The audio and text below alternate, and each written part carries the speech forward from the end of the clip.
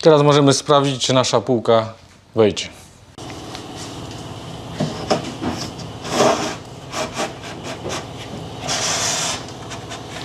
I wchodzimy tymi rowkami w te nasze wsporniki.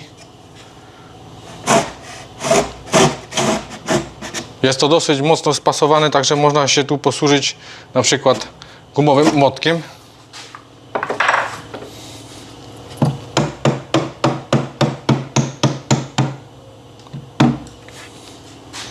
I tak w ten sposób wykonujemy wszystkie półki, w ten sam sposób wsuwamy. Jeśli dobrze porozmierzaliśmy wsporniki, to wszystko będzie w jednej linii. Każda półka, która idzie w jednym poziomie, będzie na równo w linii z, z półkami,